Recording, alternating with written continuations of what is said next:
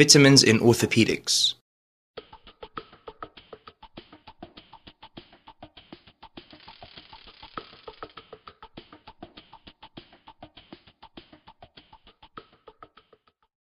Vitamin D.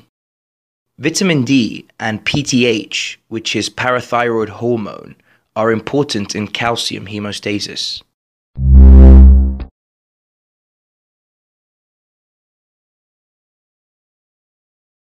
Vitamin D is naturally found in tuna, salmon, and cod liver oil.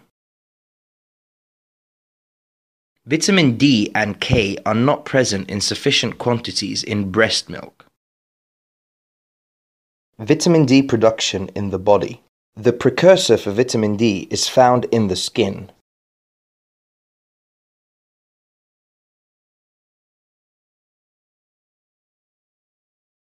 UV light converts this precursor into pre-vitamin D3. The pre-vitamin D3 will then be converted in the liver to 25-hydroxy vitamin D3. In the kidneys, it will be further converted into 125-dihydroxy vitamin D3, which is the active form of vitamin D3. PTH regulates this active form of vitamin D3. Active vitamin D3 stimulates absorption of calcium and phosphate from the intestine. Low vitamin D levels leads to rickets. Vitamin D deficiency rickets is the most common form worldwide. In adults, it leads to osteomalacia. Looser zones are stress fractures in patients with osteomalacia. Darker skin individuals should have more sun exposure. Vitamin D resistant rickets is the most common form of rickets in the United States. It is also known as familial hypophosphatemic rickets. It is an X linked inherited disease. In osteomalacia, the defective mineralization of bone leads to a qualitative defect of bone with a high amount of unmineralized osteoid matrix. Osteoporosis, on the other hand, is a quantitative defect of the bone. Vitamin D deficiency is considered when blood levels of 25 hydroxyvitamin D3 fall below 20 nanograms per milliliter. Vitamin D levels are usually found to be low in patients presenting with low energy fractures.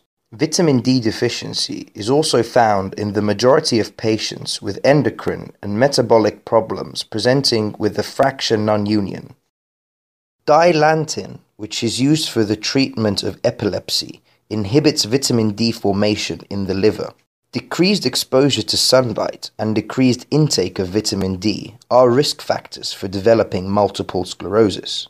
Recent research has also demonstrated a link between low vitamin D and B12 levels and the development of Alzheimer's disease. The daily requirements of vitamin D are between 400 and 800 international units. Vitamin D and calcium supplementation are also used in female athletic triad. Vitamin E.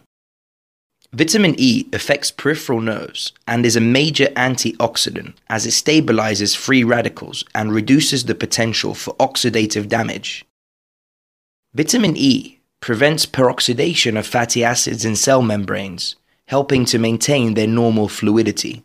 It also has some enzymatic activity. Deficiency of vitamin E can lead to hemolysis, neurological problems, and retinitis pigmentosa. Vitamin E is found in corn oil, wheat germ, sunflower oil, milk, nuts, avocado, asparagus, and broccoli. Vitamin K Vitamin K is needed to introduce calcium binding sites on vitamin K dependent clotting factors in order to activate them. Without vitamin K, the blood will not clot. This process of introducing calcium binding sites on vitamin K dependent clotting factors is called gamma carboxylation of glutamic acid. The vitamin K dependent factors are factors 10, 9, 7, and 2, which could be remembered as the year 1972. Vitamin K is found in green leafy vegetables. Causes of vitamin K deficiency include fat malabsorption, prolonged use of broad spectrum antibiotics, breastfed newborns, and infants of mothers taking dilantin. It is important to differentiate between vitamin K and vitamin C deficiencies. Both vitamin K deficiency and vitamin C deficiency lead to easy bruising and bleeding. Bleeding time will be normal in patients with vitamin K deficiency, but it will be prolonged in patients with vitamin C deficiency. Prothrombin time, on the other hand, will be increased in vitamin K deficiency, but will be normal in vitamin C deficiency. Vitamin K deficient patients do not have connective tissue problems, while vitamin C deficient patients demonstrate skeletal deformities gum hyperplasia and bleeding, and poor wound healing. Coumadin is a vitamin K antagonist. It affects vitamin K metabolism in the liver, leading to the inhibition of the vitamin K dependent clotting factors 10, 9, 7, and 2. The therapeutic target level of Coumadin is an INR of 2 to 3. It takes approximately three days to reach that therapeutic level and takes another three days to reverse it by vitamin K. Fresh frozen plasma would act immediately on reversing the effects of coumadin. In the case of heparin, protamine sulfate and fresh frozen plasma would work immediately on reversing its effects.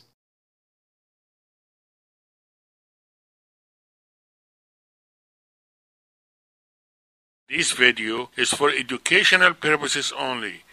Please consult your doctor before you make any decision about your medical care.